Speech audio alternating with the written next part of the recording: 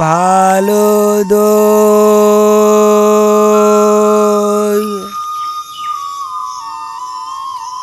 দই দই ভালো দই। দইওয়ালা? দইওয়ালা? ও দইওয়ালা। ডাকছো কেন? দই কিনবে? কেমন করে কিনবো? আমার তো পয়সা নেই। কেমন ছেলে তুমি? দই কিনবে না তো? আমার বেলা বইয়ে দাও কেন? আমি যদি তোমার সঙ্গে চলে যেতে পারতুম তো যেতুম। আমার সঙ্গে? হ্যাঁ তুমি যে কত দূর থেকে হাঁকতে হাঁকতে চলে যাচ্ছ শুনে আমার মন কেমন করছে। বাবা তুমি এখানে বসে কি করছ?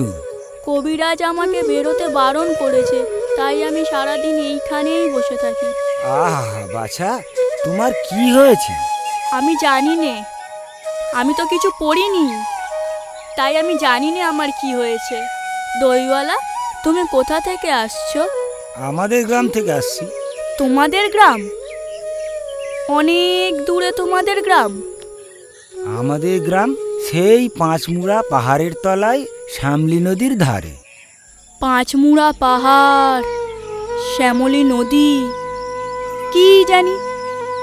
হয়তো তোমাদের গ্রাম দেখেছি। কবে সে আমার মনে পড়ে না। তুমি দেখেছ? পাহাড় তলায় কোনোদিন গিয়েছিলে নাকি? না কোনোদিন যাইনি। কিন্তু আমার মনে হয় আমি যেন দেখেছি। অনেক পুরনো কালের বড় বড় গাছের তলায় তোমাদের গ্রাম। একটি লাল রঙের রাস্তার ধারে না? ঠিক বলছো বাবা।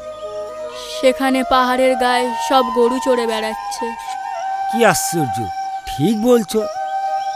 আমাদের গ্রামে গরু চড়ে বই কি খুব চড়ে। মেয়েরা সব নদী থেকে জল তুলে মাথায় কলসি করে নিয়ে যায়।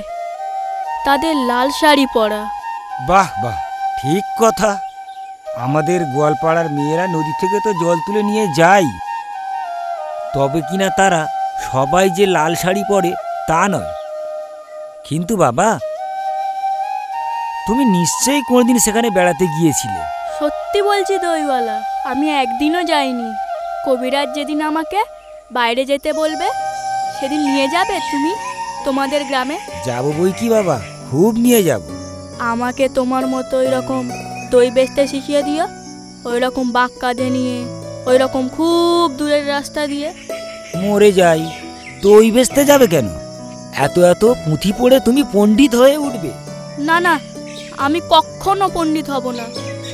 আমি তোমাদের ওই রাঙা রাস্তার ধারে বুড়ো বটের তলায় গোয়ালাপাড়া থেকে দই নিয়ে এসে দূরে দূরে গ্রামে গ্রামে বেচে বেচে বেড়াবো।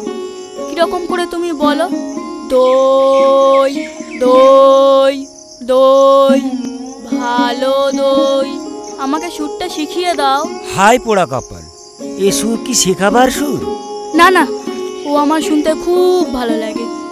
আকাশের খুব শেষ থেকে যেমন পাখির ডাক শুনলে মন উদাস হয়ে যায় তেমনি ওই রাস্তার মোড় থেকে ওই গাছের শাড়ির মধ্যে দিয়ে যখন তোমার ডাক আসছিল আমার মনে হচ্ছিল কি জানি কি মনে হচ্ছিল।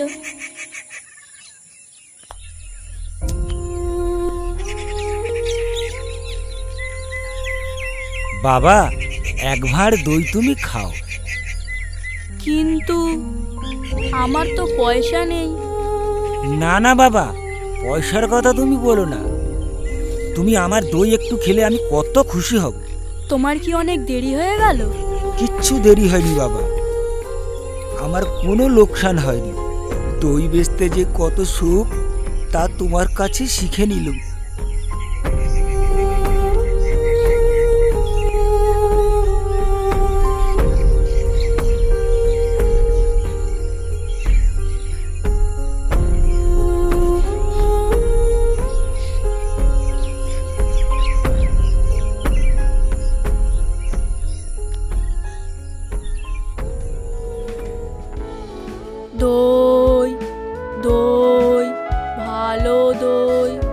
সেই পাঁচমুড়া পাহাড়ের তলায় শ্যামলী নদীর ধারে গোয়ালাদের বাড়ির দই। তারা ভোরের বেলায় গাছের তলায় গরু দাঁড় করিয়ে দুধ দই সন্ধ্যাবেলায় মেয়েরা দই পাতে, সেই দই দই দই দই, ভালো দই।